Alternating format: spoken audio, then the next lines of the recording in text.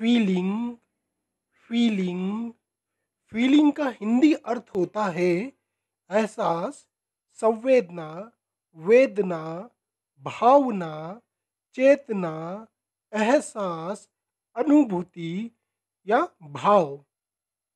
आइए फीलिंग को हम कुछ उदाहरणों के माध्यम से और समझने का प्रयत्न करते हैं। The employee is always feeling good after praise इसका हिंदी अर्थ है, प्रशंसा के बाद कर्मचारी हमेशा अच्छा महसूस कर रहे हैं। दूसरा उदाहरण है I hope you are feeling thankful मैं आशा करता हूँ कि आप आभारी महसूस कर रहे हैं।